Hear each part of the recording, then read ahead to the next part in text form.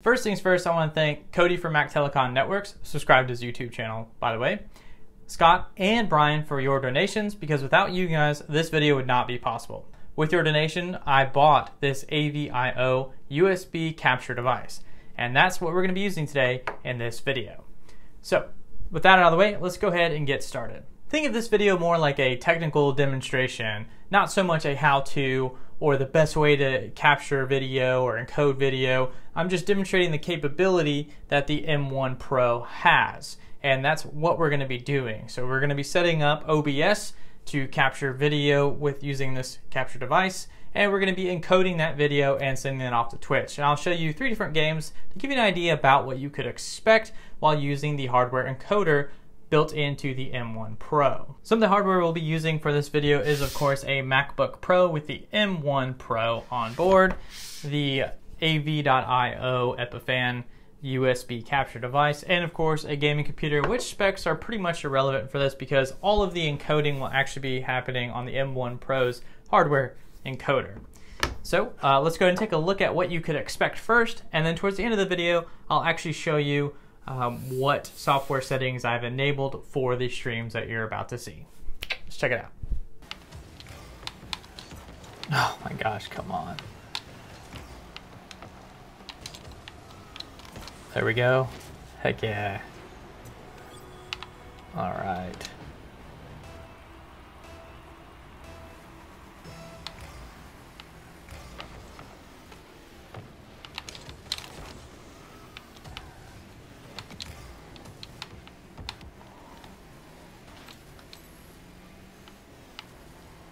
Really? Really?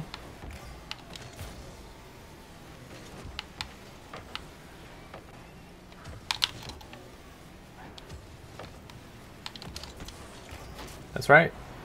Two in a row, baby. Two in a row. Yeah. Yeah, because the pistol has the explosive rounds. Look at this guy just worming around. What the heck is he doing?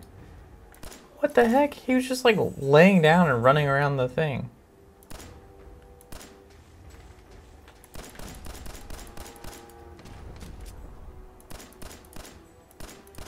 I'm not sure if I'm hitting this guy.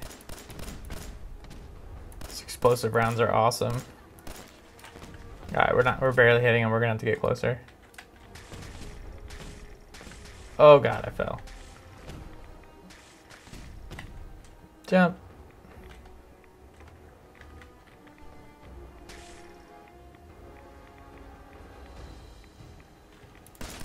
Oh, it's a turret.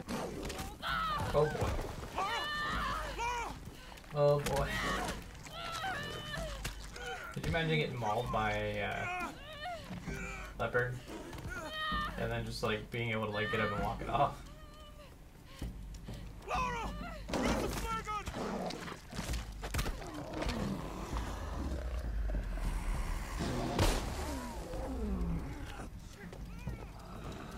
That'd be terrifying.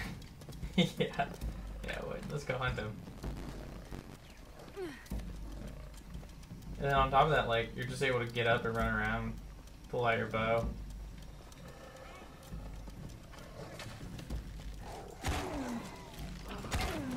After taking a look at those three separate streams, I think we can all agree that the frame rate seems to be struggling a bit there at the higher frame rate games, specifically Rocket League. So while watching Rocket League, we did see some stuttering or maybe frame drops and I'm not sure if that's because the gaming computer can do 100, I'm sorry, 200 plus FPS in Rocket League, or if it's because the AV.IO USB capture device is only capable of doing 1080p 60 frames per second.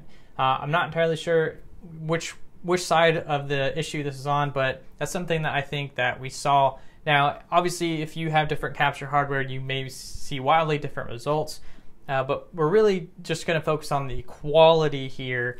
Uh, so that way we can get a bit idea of what the actual hardware controller or hardware encoder is um, responsible for. It's really responsible for the encoding, not so much the frame rate, because the frame rate is going to be limited by the capture device, and mine's only 60. So I don't think that's a problem with the encoder. I think that's more of a problem with the actual device or the communication between the gaming computer and the capture device. So with quality uh, in mind, let's go ahead and take a look at the actual settings that I use in OBS to accomplish this. So here on the screen, I have a live um, capture going on and I'm gonna go ahead and click on settings here in the bottom right corner. The first thing we'll take a look at is Outlook and or output, not Outlook. So here in the output under streaming, um, these are the settings I use for all three of those streams. We, uh, of course, are using the Apple H264 hardware encoder. We're using a bitrate of 50,000. This is YouTube centric, so keep that in mind when we're looking at these. Uh, other streaming services like Twitch and Mixer, if that still exists, use different um, bit rates and different keyframes and I don't know, B frames. So just keep that in mind. Now for our keyframe interval, I did one. I believe YouTube actually recommends two, but I'm not entirely sure. For profile, I used high and main. I didn't see a difference between the two, but for the three videos that you saw, with I used main for those, and of course have B frames enabled. And that's really there all is to show with the actual output settings here. Um, the only other thing of significance, of course, is under video. And so here in video, I have the base canvas at, of course, 1920 by 1080 because that is what my resolution is of my uh, gaming setup here. And we're just outputting that to 1920 by 1080 as well. And we're trying to hit a target of 60 FPS, and that's the value that we have set there. And that's really all that we have set up in the actual OBS software. There's really not much else to it. There is a software encoder available, but I don't see the point of using that when we have a dedicated hardware encoder available to us in the M1 lineup. I believe it's also an M2. It would be really weird if they removed it from the M2 chip.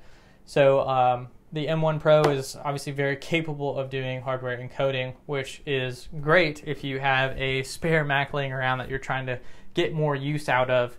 Uh, maybe not specifically for streaming to YouTube or Twitch uh, or one of the other services, but just you know knowing that it's capable of doing some pretty nice uh, encoding in H264, of course.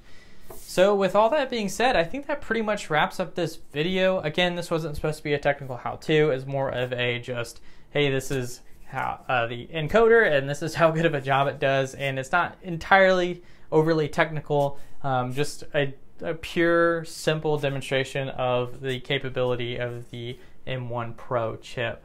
Uh, and it's probably it could be more capable, it could be less capable. Don't know. Those are the settings I ran with because those are the settings recommended by YouTube, and that's what we got. So uh, thanks again to Scott, Cody, and Brian for your donations uh, because without you guys, this video would not be possible. And for everyone else, thank you all for watching uh, because without you guys, all of these videos would not be possible. So, peace.